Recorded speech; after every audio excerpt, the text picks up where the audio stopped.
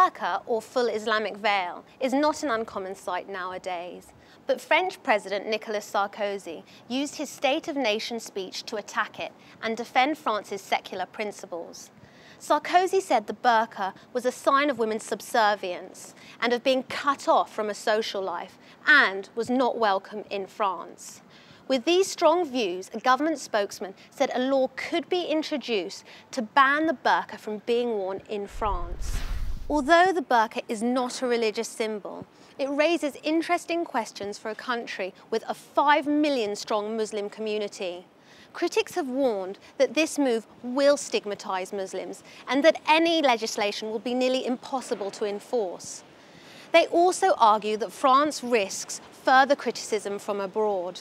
Obama has already this month attacked France for its ban on the headscarf and all religious symbols in its schools, saying that no government should dictate what an individual wears.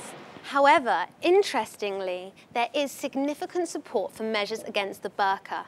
Two out of the three Muslim women in the French cabinet support a ban.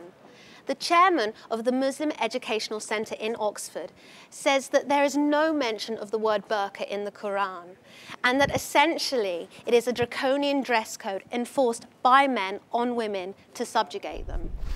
Sarkozy is backing a full debate on the issue in Parliament. However, we want to know what you think. Is the burqa a threat to France's secular and republican principles? Should women have the right to choose? Would you welcome similar debates on this issue and other issues like this in the UK? Let us know by logging on to catch21.co.uk and leaving us a comment.